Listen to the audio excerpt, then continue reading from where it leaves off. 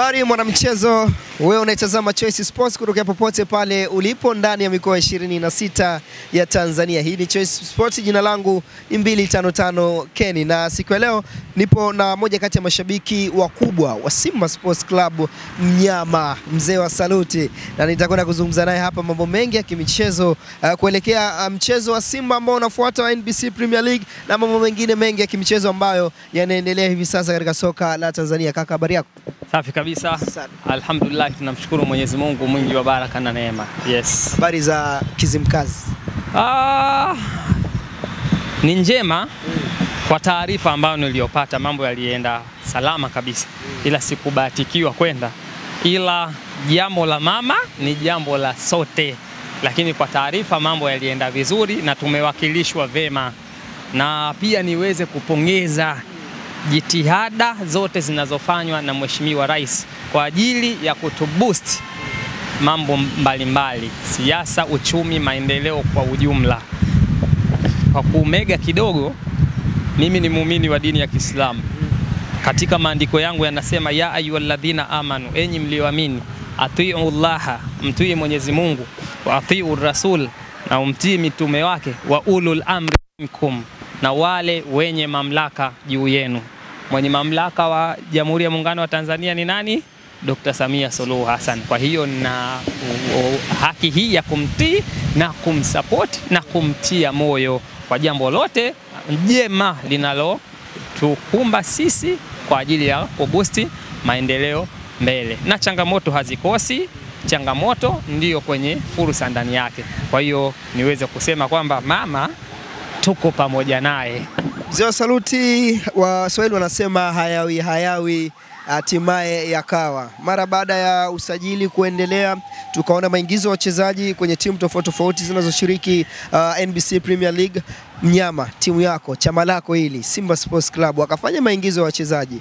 Mechi ya kwanza ya kimashindano ambayo uh, ilitafsiriwa kwamba huenda ikaleta picha ama ikaonyesha picha ya Simba nini anakwenda kukifanya katika msimu huu ni mechi ya ngao ya jamii. Kwa bahati sio nzuri, mkapoteza ligi NBC Premier League ikaanza na mchezo wenu wa kwanza ulikuwa dhidi ya Tabora United, na kwa upande wenu mambo yalikuwa mazuri, mkaibuka na ushindi.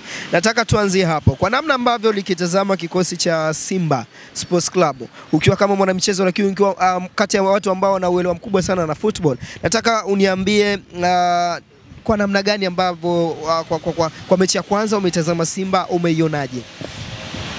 Ah, nitaomba kidogo nipe muda manake mimi naongea muda mrefu sana, kwa hiyo utanipa dakika kadhaa, kwa sababu tukianza hatumalizi Ndio kaka.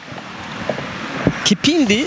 Nakuja kwenye mada. Kipindi Mo Dewji anakuja Simba Sports Club, alisema lengo langu kubwa ni kuitoa Simba from nothing to something kusipojulikana mpaka kwenye nafasi timu iwe tishio barani Afrika.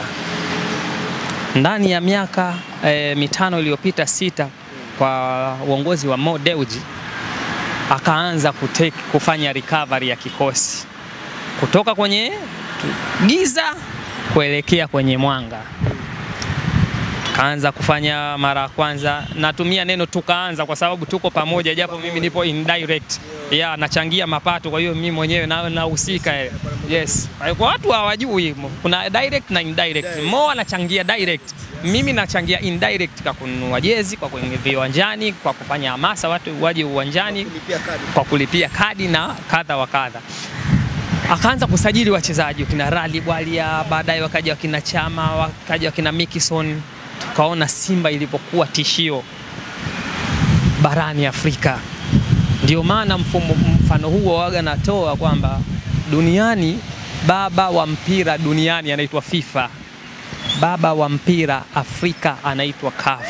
CAF alikaa akaseti standard na kuanza namba moja ni Al Ahli, namba mbili Mamelodi, namba tatu sijui uh, Casablanca wa Wydad, namba nne uh, Esperance de Tunis, namba tano. Ilipofika namba sita na namba saba akawepo Simba Sports Club. Hakiji kitu kwa bahati mbaya, kinakuja kitu kwa uwekezaji, uwekezaji na watu kuwa pamoja. Kwa hiyo katika hapo tukaanza kuitawala e, Afrika kuwa timu tishio Afrika. Unajua watu wanadhani tu ukichukua kombe nani kwamba ndo anajua umeitawala. Hapana, fanya wale watu wa juu wakuogope, watajua huyu ndio sasa anakuja kwenye utawala wangu. Ndio maana Al Ahli akiona amepangiwa na Simba, unaona kweli hapa game itakuwa ngumu. Akiona nani, game itakuwa ngumu. Kwa hiyo tulienda baada ya safari ndefu. Safari huwa ina ndani yake kiu cha maji, mabonde, milima, jua kali, njaa, shibe, nini hivyo. Tukawa tunaenda kufanya nini? Tunarudi chini. Katika kurudi chini sasa, tukaona tunafanyaje? Nakuja sasa kidogo, waga napendaga nikiongea narudi kwenye mfumo wa- shule shule. Katika topic moja ya uh, ni subtopic fulani inaitwa Second World War. Moja kati ya effect ya Second World War kulikuwa kuna shareholder went bankrupt, yani kulikuwa kuna mambo mengi, watu makampuni mengi yalipata hasara, na katika kufanya hasara hu, hiyo walitoa tathmini, wakaweka kitu kinaitwa trade cycle. Siku moja ukiwa vizuri, nitakuletea nani hapa ni ni- nifundishe yani, kwa sababu eh, napenda sana kuwaelekeza watu ambao wanaopenda kufundishika eh, wasio kama watu wakina Les- Lastborn, nawapa elimu wenyewe hawataki, wanapinga. Sasa baada ya hapo katika ile trade cycle nakuja kwenye mada, ndio maana nakwambiaga mi waga mpaka mtu anaingia kwenye nani. Katika hiyo trade cycle juu pale kuna kitu kinaitwa boom. Ndio maana wanafunzi wa chuo hela ikiingia wanasema mimi nina nini na boom. Ina maana boom ni kujitosheleza, wana hela ambayo inajitosheleza, wako vizuri. Lakini boom, wanafunzi hao hao huwa alikai muda mrefu, kuna matumizi. Huyu atafanya matumizi yake kwa mfumo wa liability, mwingine atafanya mfumo wake kwa asset, ili mradi yote ni matumizi. Kwa hiyo katika kupungua unashuka, kuna kitu kinaitwa slump, unaenda unashuka katika ile trade cycle. Ukitoka kwenye kushuka chini, kuna kitu kinaitwa depression. Depression ndio unadidimia, unagiza. Kwa hiyo sasa, ukitoka kwenye giza, wakati unaenda juu, unatafuta kitu kinaitwa recovery au revamp, ili urudi wapi? Kule kwenye boom. Kwa hiyo Simba tulikuwa kwenye boom, tukawa tunaenda kwenye slump, depression, giza totoro.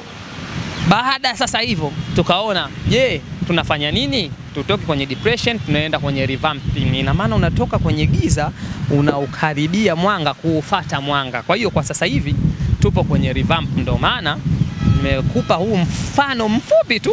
E, napenda sana nikiingiza mifano yangu naingiza kwenye mifumo ya shule. Kwa hiyo sasa Mo Dewji akarudi akasema, moja ambacho kilichosababisha sisi kuwa hapa, cha kwanza uchaguzi ulifanya nini?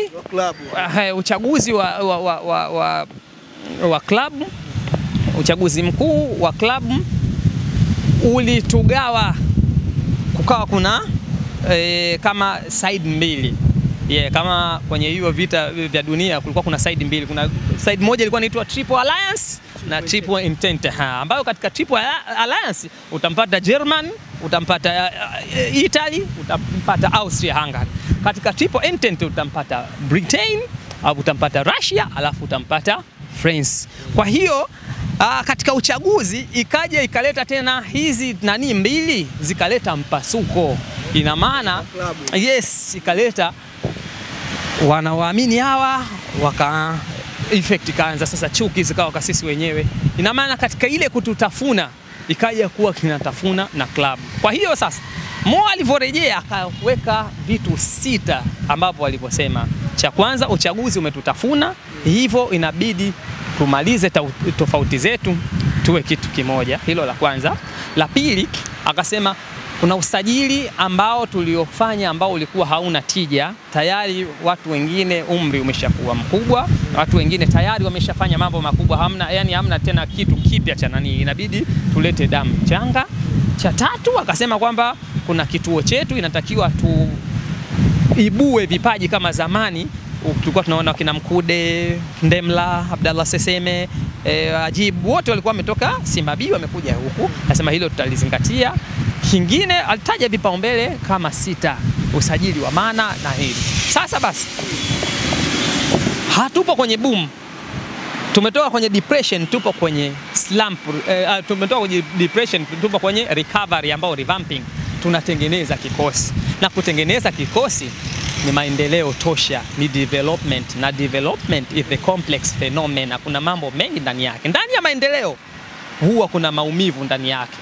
Kuna maumivu ambayo utayopata direct or indirect. Mfano sasa hivi eh, Rais wa Jamhuri ya Muungano wa Tanzania Dr. Samia Suluhu Hassan kasimamia vema SGR, sasa hivi imetoka yani kasimamia rasilimali vema Morogoro, Morogoro sasa hivi Dodoma, na walau kuna siku itaenda hadi kwetu Kigoma huko, yes, hadi Mwanza hadi yes, na mwanzo wa reli kama una unakuja yes.